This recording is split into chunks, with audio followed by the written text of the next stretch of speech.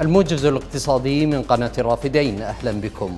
وافق مجلس الوزراء في العراق على منح شركة شلمبرجير للخدمات النفطية مناقصة لحفر 96 بئرا نفطية في جنوب البلاد. وقال بيان لمجلس الوزراء إن قيمة العقد المبرم أقل بنسبة 14% عن المبلغ الذي كان متوقعا وهو حوالي 561 مليون دولار. يذكر أن العقود مع الشركات النفطية في العراق يشوبها كثير من الفساد والصفقات التي تصب من مصلحة الأحزاب المتنفذة.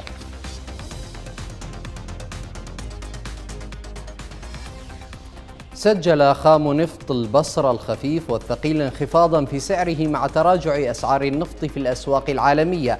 وبحسب رويترز فإن نفط البصرة الخفيف المصدر لآسيا انخفض إلى نحو 61 دولارا للبرميل بنسبة انخفاض بلغت 5.50% فيما سجلت أسعار خام النفط البصرة الثقيل نحو 62 دولارا للبرميل بانخفاض بلغ نسبته 0.19%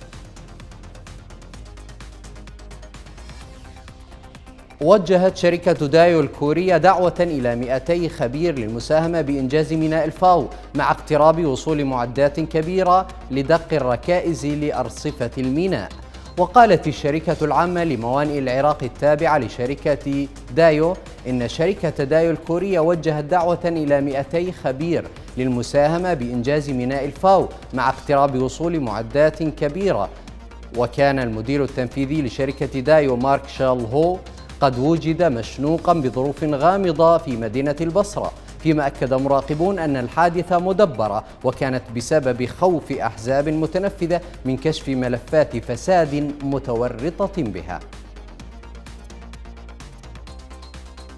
كشفت لجنة الاستثمار والاقتصاد النيابية عن تلاعب بأسعار المواد الغذائية تزامنا مع اقتراب شهر رمضان المبارك.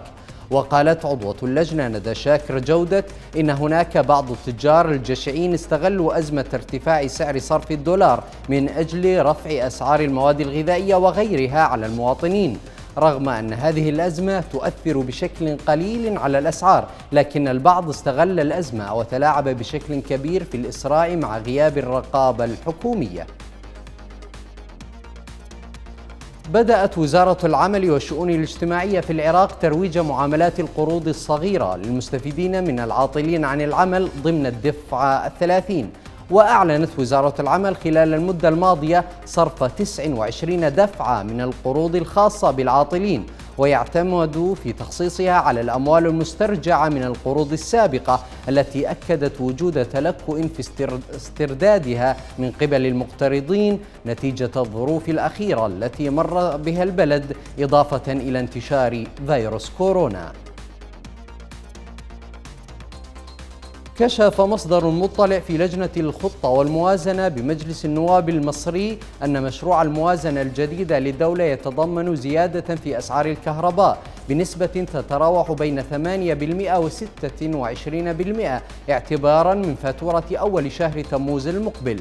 وقال المصدر إن الزيادة الجديدة ستطال الشرائح الخمس الأولى من الاستهلاك المنزلي مبينا أن سعر الكيلو واط للشريحة الاستهلاك الأولى سيرتفع من 38 قرشا إلى 48 قرشا ومن 48 قرشا إلى 58 قرشا في الشريحة الثانية.